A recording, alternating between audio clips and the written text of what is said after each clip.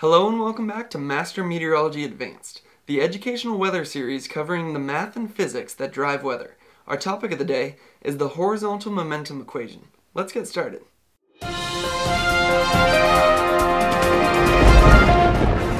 So diving into my screen here, you see the governing equations of meteorology. These four equations are the horizontal momentum equation, the hydrostatic equation, the continuity equation, and the thermodynamic equation. But today, we're just going to be focused on the horizontal momentum equation. So, this is the horizontal momentum equation. You get it by taking the dot product of the zonal unit vector with the momentum equation to obtain the zonal momentum equation. It's kind of a mouthful, and honestly this equation looks pretty daunting, but what we're going to do is exactly what my teacher did. On the first day of graduate school, she put this equation up on the board and I said, wow, I have got my work cut out for me. But what she did is she first broke it down symbol by symbol. So she explained like what this U means, what this V means, rho, P, F, all those things. And then from there, once we knew all the symbols, then we dove into the terms, like looked at what's this one mean versus just that. And then once you understand all the different terms, then you can understand the overall equation. So that's exactly what we're going to do. First, we're going to look at the terms. Then we're going to look at this. No, first we're going to look at the symbols. Then we're going to look at the terms. Then we're going to wrap it all together and understand the entire momentum equation so that this won't look as daunting. So we're going to start by getting our axes here. The x-axis is going east. So right down here, you can imagine that as like San Francisco to New York. The vertical axis, the y is going to be northward, so like from San Francisco to Canada. And first we're going to look at what this u and what this v uh, symbols are. So u is just going to be dx dt, the change in x over time. You might you might think that sounds familiar. It's because that's basically what velocity is. Change in distance over time. So what u is, is the wind velocity, usually wind, in the eastward direction, or the zonal direction. You could probably guess what v is. It's the meridional wind, which is a fancy way of saying northward, dy dt. So it's the change in north over change in time. That's going to be our v. So now we're going to look at what this W is. We're going to have that same x-axis going east, San Francisco to New York. But now our vertical axis is actually going to be vertical. It's going to be k hat, z, or vertical. And z is a symbol for altitude. And you can imagine this as like from San Francisco up to space. That's what this axis represents. So you see our x-axis, it's or our x symbol, the u, it's still the same, dx dt, change in x over time. But now this w is going to be dz dt, so change in altitude over time. So it's that same velocity concept, but in the vertical direction. And it turns out this w is extremely important when it comes to weather and just all kinds of phenomena because vertical motion is pretty much what drives a majority of storms and uplift that creates rain and thunderstorms and tornadoes. Basically, vertical motion is the major thing we look at in meteorology because it's what creates everything that's exciting. So, we're now going to look at this rho, that is density, which is also equal to mass divided by volume. Looking at this P term, that's just going to be the pressure. We're dealing with atmospheric pressure here. The SI unit for that is pascals. And something to think about is, see how this symbol is like that versus just a regular D? It actually makes a pretty big difference when you're dealing with these kinds of equations. So in this equation, you see it all looks kind of like that one. And what that is, it's a partial derivative and it's the local derivative, also called Eulerian. You'll probably hear called that sometimes. And what this means is it's at a fixed place. And you're looking at the change of some kind of variable. The If you see d dx, this could also be called total derivative or Lagrangian. And that is following the parcel. We're not going to dive too much into this like right now, but it's just something to keep your eye out for that those different terms right there actually do make a difference. So you probably heard me say the term zonal when I was talking about the eastward direction. That's pretty much what it means, west to east flow. And meridional is the north to south flow. This F in here is going to be the Coriolis term, or you'll find out later, the Coriolis force. And that is equal to 2 omega sine phi. Now you're saying, oh my gosh, it's another equation. Well, this one's actually pretty simple. The omega right there is Earth's rate of rotation. That's just a constant, which means it's not going to change at all. It's something like 7 point something exponent something. You can look it up. But that's not going to change, so the only thing we really care about is what the latitude is. That's what this phi symbolizes here. It's the latitude in degrees. So 2 omega sine phi looks kind of complicated, but it's really just using a number that you already, I'm pretty sure, understand, which is latitude. So we've understood, hopefully, the symbols. Now we're going to look at some of the terms. So this term out on the left-hand side, which is what we're solving for, is the local time rate of change of zonal wind at a fixed location. Notice it's the zonal wind, and that's because right now it's a U. Sometimes you might see that, it'd also be a V, but for right now we're just looking at the zonal wind at a fixed location. That is term one.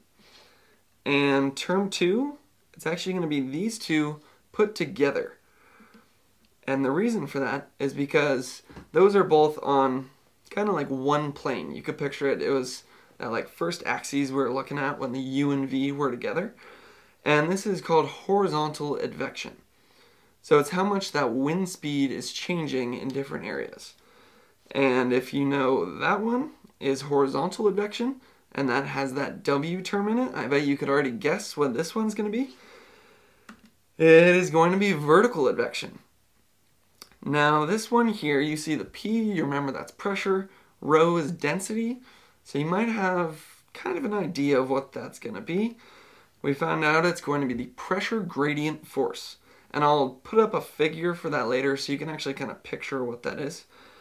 Here, what do you think it's going to be? We got that F term. Exactly, Coriolis. And I wrote Coriolis torque acting on meridional component of flow. Sounds kind of complicated, but the reason I say meridional is because remember in that F term, it had to do with latitude. So it has to do with if you're changing latitude. So meridional. If you're just zonal, that phi isn't going to change at all. So this F term is not going to change at all. So we wouldn't really care about it. And then this last one here, FR, I haven't talked about that one yet. That is the zonal component of the friction force and it's the zonal component because friction always opposes the direction of flow and from right here you see that we're just dealing with the zonal wind for this equation. And here's the horizontal momentum equation in vector form. And you see it looks a little different, but you could probably recognize some of the these terms. Recognize that as the pressure gradient force. That one's got F, so you know it's going to have something to do with the Coriolis force and it does.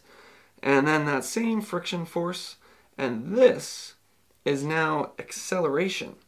You see it's now the change in velocity over time, which is literally the definition of acceleration. Something you might not have realized though, is that this is basically just force equals mass times acceleration in disguise. It's Newton's second law. On the left hand side we have acceleration, and then on the right hand side we have force divided by mass you might be saying, where's the mass? But it's kind of built into these different terms. They're all per unit mass. And you know their forces because this one's the pressure gradient force, this one's the Coriolis force, and this one's the friction force. So in total we have acceleration equals forces per unit mass. Just Newton's second law for the atmosphere. And up to this point we're still just kind of talking about different symbols and terms, so it might not be that intuitive yet. Hopefully, once we actually put it down into a figure, you can start to picture what these things actually mean. So the first thing we're going to throw into this picture is the pressure gradient force. And I like to think of this as almost just like a sloped surface and you pour some water on it. That water is always just going to flow straight down and that's pretty much what the pressure gradient force does. In this case, this is an isobar line of constant pressure of 1005 millibars. So that one's going to be up here. This one's 1000. It's going to be like down here. So that's going to force things just flow straight down. And that's what we see. It goes from high to low pressure. That's always true for the pressure gradient force. Now we're going to put in the Coriolis force. The definition of geostrophic winds is when the pressure gradient force and Coriolis perfectly counteract each other to form a geostrophic wind. Now what the geostrophic wind is, it's basically a theoretical wind that meteorologists use to kind of describe and approximize um, different synoptic meteorology phenomena. So it's not an actual wind, but it's something that, for the most part, works for the real atmosphere. So it's something that you'll see a lot in equations like this and many other equations. And it turns out it's really important for the jet stream, where the pressure gradient force is the strongest. You see the geostrophic wind is going to be the strongest. And that's basically how we get the jet stream. I'll do a whole video on that one. But now, if you're intuitive, or not intuitive, but really focused on this video, you notice in this drawing, I only had the pressure gradient force and Coriolis, and I left out friction. And that's why it's geostrophic versus actual. For actual winds, you have to include that friction because even though it's really small, it will still make a difference. And we'll see what that difference is in a minute. So we still have that pressure gradient force. It's flown from high to low, 1005 to 1000. Just going to go straight. But what we're going to see in actual winds Instead of being parallel to the isobars like the geostrophic wind, the actual wind is going to be a little bit angled towards that lower pressure. Now the reason for this has to do with friction. When you put in friction into this figure, friction is always just going to, going to oppose the actual wind. It's going to be in the exact opposite direction. I like to think of like an ice skater Going on ice, it's super frictionless, so they're just going to glide right along.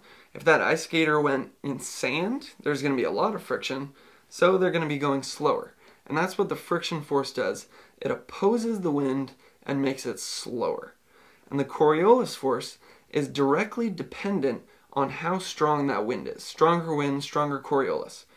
So if there's weaker wind, it's going to be weaker Coriolis. You see that arrow got a little bit smaller. And basically what we figure out is that in this one, where pressure gradient is perfectly balanced with Coriolis, in this one, friction is involved, that's a small force, and it's going to weaken Coriolis. So it's no longer balanced with pressure gradient. The pressure gradient is actually going to win now. So that's going to pull this wind towards the lower pressure. And that's something that we actually see in the real atmosphere, so it's kind of cool to see these equations actually applied. Now let's go over a quick summary. When it comes to the momentum equations, we are basically just working with Newton's second law. It's force equals mass times acceleration, but it's applied to the atmosphere. So the acceleration of a parcel of air is going to depend completely just on the forces that are acting on it. We saw in that vector form of the equation that those the most important forces are the pressure gradient force, the Coriolis force, and the friction force. I hope this video helped. I have many more videos on the way. I'm about to film a video on the hydrostatic equation, another one of the governing equations, hopefully throw in a continuity, thermodynamic, and then we'll get into quasi-geostrophic theory.